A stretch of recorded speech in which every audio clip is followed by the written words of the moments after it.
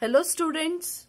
So today under the gravitation chapter we are going to discuss a new topic that is thrust and as well as the pressure here. So now what is thrust? We will define what is thrust here. So thrust is nothing but it is one type of force. Since you have already known what is force. So force is nothing but it is either a push or a pull here. So now what is this thrust means? Now, so similarly, if a force is either a push or a pull means, now what is this thrust? Thrust is also one type of force which is acting on an object. Force is a acting on an object in perpendicular direction. Force which is acting on an object in perpendicular direction is called it as thrust here. Okay.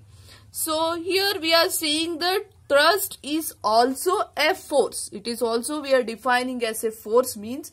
So whatever we are saying for the force, same thing we are going to say for the thrust here. So since force unit is Newton, force you are going to say the SI unit of force is Newton. Same formula or same SI unit you are going to say the SI unit of thrust is also a Newton that is represented by the capital letter N here. Okay. So now we have known that what is this thrust. Thrust means which is the force which is acting on an object in perpendicular direction. Perpendicular means making an angle 90 degree.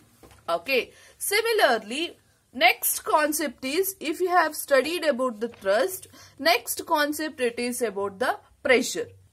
Now what is this pressure means? Pressure is nothing but a force act on a given area or I can say the thrust which is acting on a given area. Thrust acting or force acting on a given area is called it as pressure. So there is a formula for the pressure. So pressure is nothing but pressure is equals to force divided by area. Okay. So what is the unit here? Since pressure is equals to force by area, what is the unit for the force? It is Newton. Unit for the area is meter square. So pressure is equals to pressure is equals to Newton per meter square or another one formula we are going to say is Pascal.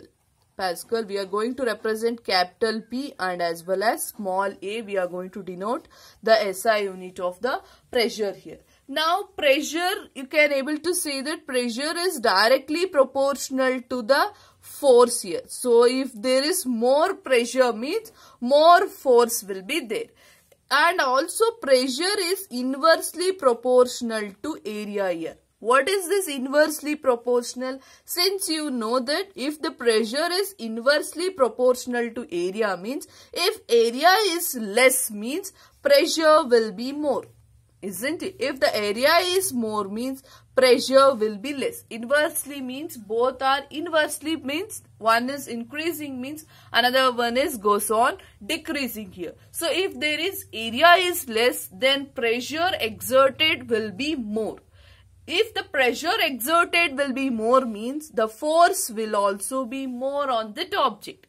If the area is now more here, if the area now is more means pressure exerted on it will be less. If there is a pressure is less means since pressure is directly proportional to force means force will also be less here. Now we have already defined a SI unit of pressure that is Pascal we have defined. So now we have to define what is this 1 Pascal. So 1 Pascal is equals to 1 Newton divided by 1 meter square. In definition I can say it as 1 Pascal is nothing but 1 Newton of force acts upon 1 meter square of area. That is 1 Newton of force acts on area of 1 meter square is nothing but 1 Pascal is 1 Pascal. You are going to say it as 1 PA. Okay. So now by various examples we are going to study about what is this thrust and what is this pressure in detail. See here. Here I have taken an iron nail and a block here. A block I have considered. Here force I am applying in this direction. Force if I am applying in perpendicular direction. This force which I am applying perpendicular to the surface area is called it as thrust here. Now I can define pressure also here. What is this pressure means? Pressure is nothing but force which is acting on exact area, some surface area here. See here, the pressure it is applying of this tip of the nail and as well as ear area here.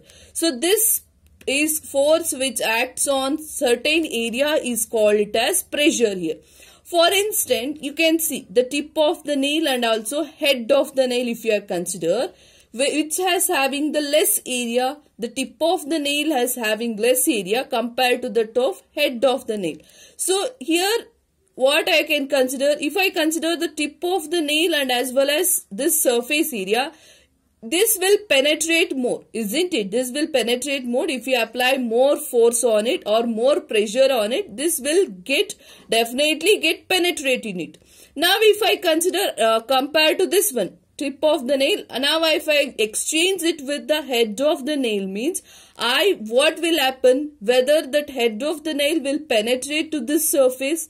It is very difficult to penetrate it isn't it? Why? Because the area of this head is more. If the area of this head is more means if area is more pressure will also less. If pressure is less means force applying on that will also be less here tip of the nail is area is less. If the area is less means pressure will be more. Pressure is more means the penetration of the tip to this wooden block will be more.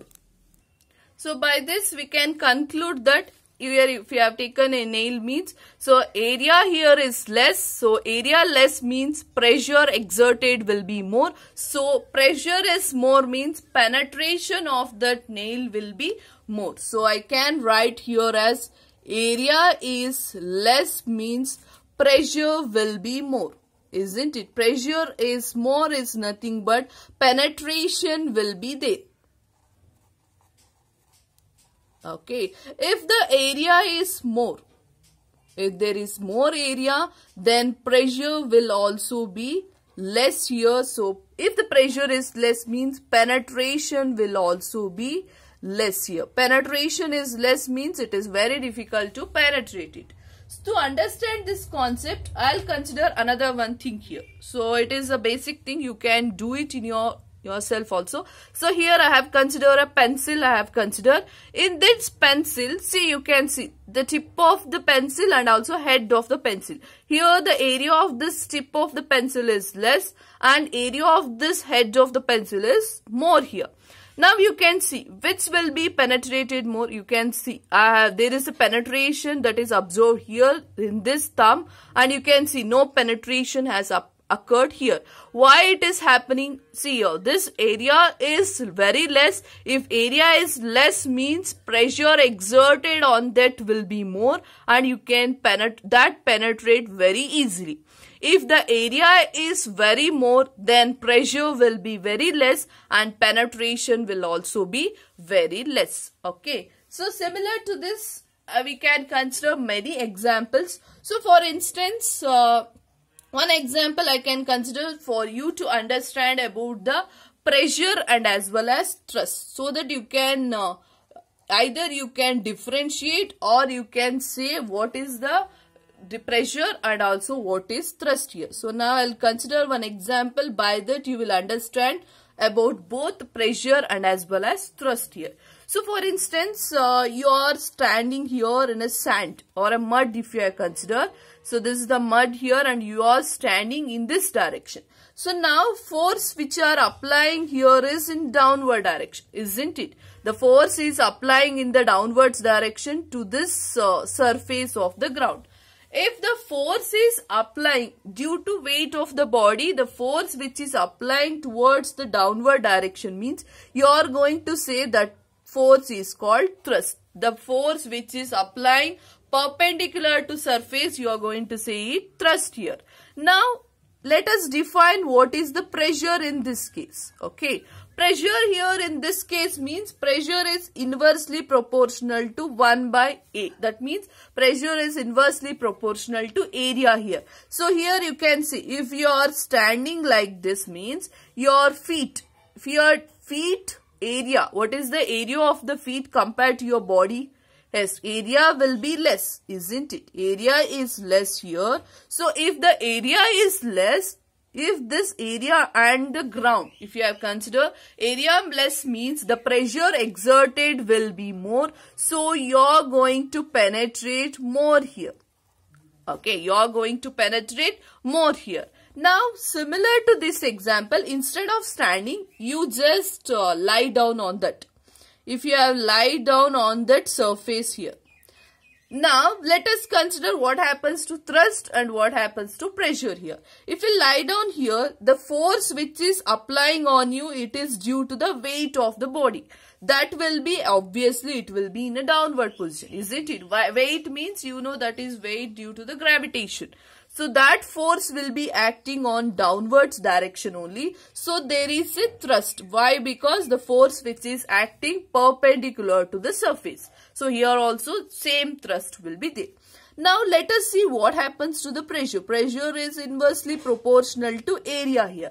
Now how the area here is, you can see the area of this object was very large, isn't it? Compared to that uh, only the feet if you have considered the area of this feet and also area of your whole body is very compared to it is very more. So if the area is more here then what happens to pressure here?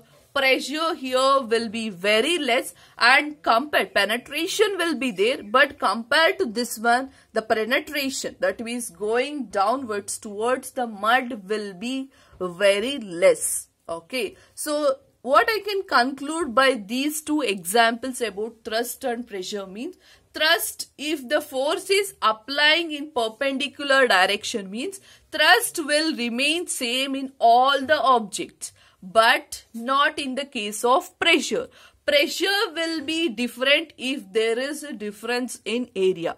So I can say thrust does not depends upon the area. Thrust does not depends upon the area but pressure depend upon the area. Isn't it? Even how much the area is will be there, the thrust in both the cases are same but not in the case of the pressure here. So this is the major difference between thrust and as well as the pressure you can write. So uh, I'll repeat it. What is that? Thrust does not depend upon area where in the case of pressure it depends upon the area now. So now let us see one of the best application of this pressure here is.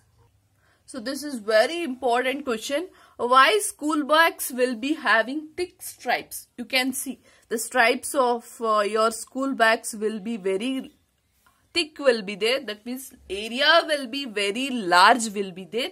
Why the area will be large means if the area is, you know, pressure is inversely proportional to area. If the area is large means pressure will be down. That means pressure will be less. Pressure is less means the pressure which is applying on your shoulder will be less. You are carrying many books. If the stripes of your bag is very less means you will get more pain on your shoulder because if the area is less means the pressure will be more. If pressure is more means you will get pain on your shoulders. So that is why the school bags will be having area which is uh, that is stripes will be having very thicker because area will be more. If area will be more means pressure which is applying on your shoulder will be less so that you can comfortably carry your school bag okay this is one of the application. Many applications are there. I want you to think it. So one of the application is why the when you are considering about the sharp knife and blunt knife. Why we are using sharp knife to cut the vegetables? Why we can't use the blunt knife to cut the vegetables? Okay so I hope everyone have understood the concept or the difference between thrust and as well as pressure which is very important concept in this chapter. So uh, we can discuss about the next concept in the next class. So if any doubt is there, we will discuss in a live session. Thank you.